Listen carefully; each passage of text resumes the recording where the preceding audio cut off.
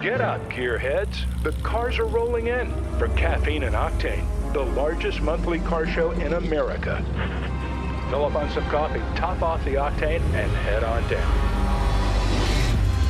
These things are on fire right now. I mean, everybody's after them Yeah. and demanding big money. Oh, yeah. We have a Shelby 350. Okay. And he wanted to learn stick. Yeah. And I said no. So we needed to find a car that he could learn stick on.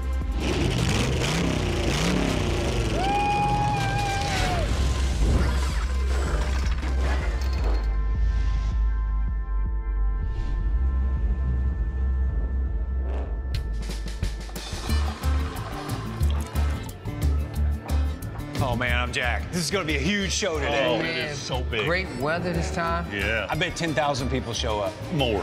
And that, that, that would be crazy. You know who's coming? Who? Race car driver Katherine Legge. Oh, yeah, yeah, yeah. She, she drives for Acura now. You know that, With right? an all-female team. All female. Every time I come to Caffeine and Octane, it gets bigger and more crazy, and I love it. Nice to meet you. You're not the driver of this. Yes, I am. You are? You drive this on a quarter mile to Orlando Motor Oh, wow.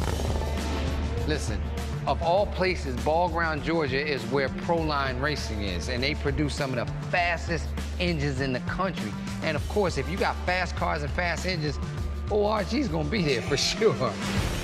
This is the fastest car in the country right now. How much horsepower y'all making with this? Probably a little over 3,000.